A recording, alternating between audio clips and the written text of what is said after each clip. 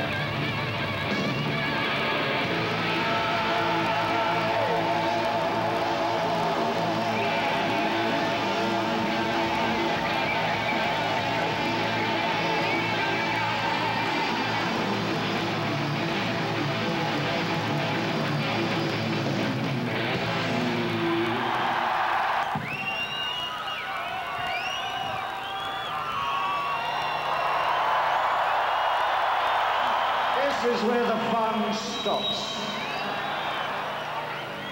At the end of the 60s, we were left with a legacy of quite wonderful bands. Led Zeppelin, Beatles, Rolling Stones, and then came the 70s with its new unstoppable crop. T-Rex, Roxy Music, Queen, Spiders from Mars, and the Rolling Stones. We all used to play the same dance halls and theatres, play the same clubs, try not to wear the same clothes. We slept with a lot of the same people, I think.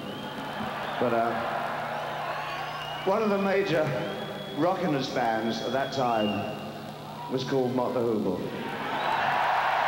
Firstly, I'd like to introduce you to the guitar player from the Spiders of Mars, Mick Ronson.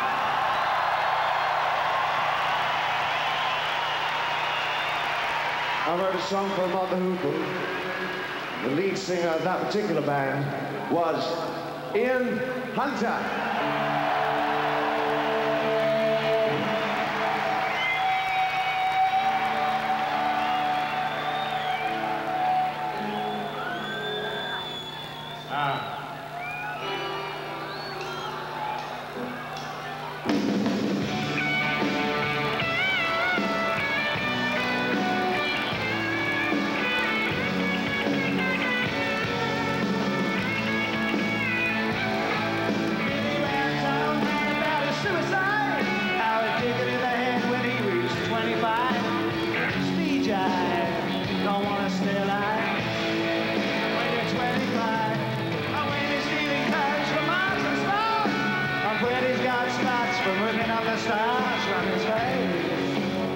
a funky little boat.